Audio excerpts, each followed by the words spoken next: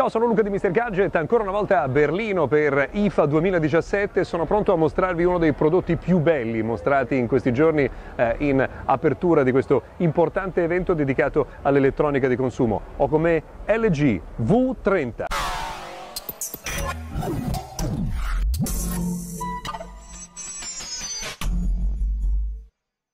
Ecco dunque il nuovo LG V30 in tutto il suo splendore, uno spessore minimale, materiale davvero eh, bellissimo anche al tatto, una sensazione eh, di leggerezza notevole. Eh, doppia fotocamera eh, sulla parte posteriore, eh, il sensore di impronte digitali con il pulsante d'accensione sempre sulla parte posteriore e il marchio che vedete qui dietro è quello di B&O Play perché poi torneremo a parlare di audio per quanto riguarda questo nuovo prodotto. non solo perché ci sono altre caratteristiche molto interessanti a partire dal Full Vision Display che vedete con una diagonale addirittura di 6 pollici eh, con la proporzione eh, 18 noni. Andando ad aprire eh, il eh, sistema operativo, vedete che eh, vado immediatamente a pescare all'interno del eh, telefono, eh, ci sono eh, molte novità interessanti, tra questa attivo immediatamente quella che è la floating eh, bar, floating bar che vi permette di avere collegamenti, acquisizione della schermata, contatti rapidi, attiviamo tutto così avremo modo e poi il lettore musicale. Questa floating bar in pratica sostituisce il doppio eh, schermo che era una delle caratteristiche tipiche dell'LG V10 e dell'LG V20 che abbiamo visto in eh, passato. Ma come funziona esattamente? Quando eh, uscite dalla schermata principale lo vedete in eh, questo punto, vedete, avete questo piccolo eh, bottoncino. Eh, una volta attivato il bottoncino avete la spiegazione di come funziona. ve lo rimostro mostro. Eh, in pratica appare questo bottone, vedete con il movimento potete eh, passare tra le diverse schermate, sono quelle dell'attivazione delle vostre applicazioni preferite, eh, dei comandi di acquisizione dello schermo, i vostri contatti oppure il riproduttore eh, multimediale che potete governare in questo modo. Torno un attimo nelle impostazioni chiudendo esattamente questo punto per mostrarvi eh, una cosa importante. Andando cioè nei eh, collegamenti potete utilizzare qualunque tipo di eh, applicazione. Potete cioè assegnare a questa floating bar, chiamiamola così, eh, il qualunque applicazione voi abbiate installato sul telefono e non solo le applicazioni di eh, sistema. C'è da dire tra l'altro che eh, con l'Active Display acceso, eh, vedete eh, questa floating bar, questi comandi come se fosse il secondary display, funzionano anche a display spento, vedete, eh, passando con il dito, facendo uno swipe direttamente sul eh, display. Allora, torniamo però a vedere il telefono da eh, vicino. Abbiamo detto eh, display di grandi dimensioni, all'interno Snapdragon 835, eh, 4 GB di RAM. Eh, vi ricordo tra l'altro che arriveranno eh, entrambe le versioni per quanto riguarda la memoria interna, sia quella da 64 GB che quella eh, da 128 in Italia. Il prezzo è ancora da stabilire, lo scopriremo nelle prossime settimane, non vi aspettate però un prezzo morbido per questo prodotto che avrà un posizionamento che viene definito premium, il che vuol dire un prezzo sicuramente piuttosto alto.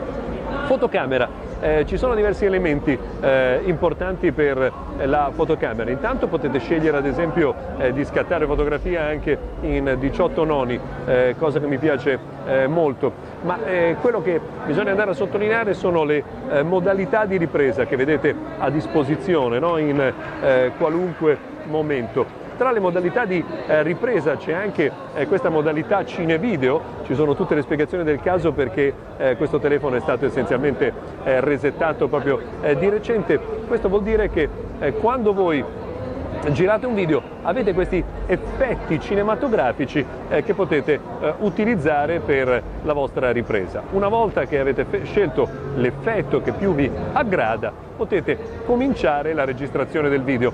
Vedete anche questo eh, point zoom, questa è una cosa importante. Allora vediamo di inquadrare le scarpe di questo signore davanti a noi.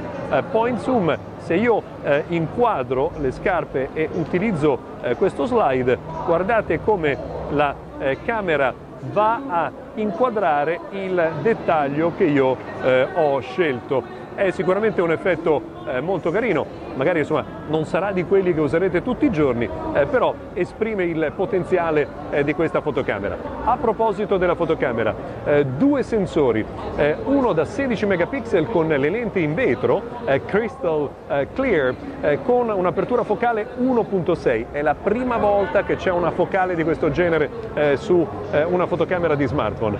c'è poi la fotocamera da 13 megapixel invece con il grandangolo, da, su questo bisogna sottolineare, torniamo nella parte frontale, ve lo mostro anche da vicino, bisogna sottolineare che la fotocamera Ah, essenzialmente no, scusate che ho sbagliato la modalità di ripresa, ecco andiamo in modalità automatica.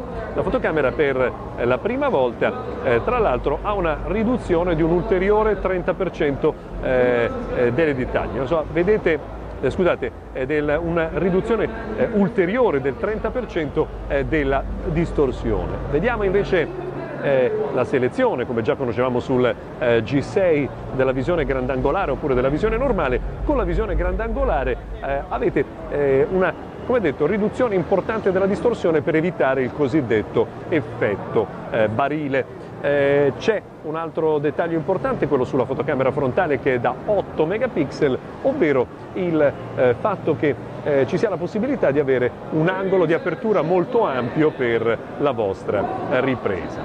Eh, voglio segnalarvi un altro dettaglio di cui vi parlavo prima, cioè questo marchio eh, B&O Play che vedete qui nella parte posteriore, è perché voi avete un eh, suono hi-fi eh, quad DAC, eh, quindi con l'uscita in high resolution audio e potete anche utilizzare i preset audio che sono stati realizzati proprio da B&O Play eh, per eh, LG. Insomma, è un prodotto veramente completo, batteria 3300 eh, mAh, voglio farvi vedere sempre eh, il dettaglio di questa eh, floating eh, bar, dicevo batteria da 3300 mAh con ricarica super rapida, con ricarica eh, wireless. Il software essenzialmente vedete richiama quello di eh, LG G6, non ci sono grandissime differenze per quanto riguarda l'aspetto, no? tutto sommato dal punto di vista grafico eh, siamo a quel eh, livello, quindi insomma